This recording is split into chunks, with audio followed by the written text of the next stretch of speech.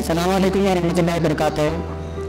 Uh, respected chairman, headmasters, teachers, and students and their parents. My name is Muhammad Basir and uh, I'm very honorable today.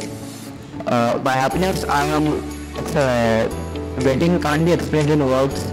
My goals are three right now, and I would like to thank the Almighty Allah. He made me reach at this position. Without him, I wouldn't be here. This is a very unforgettable moment for me.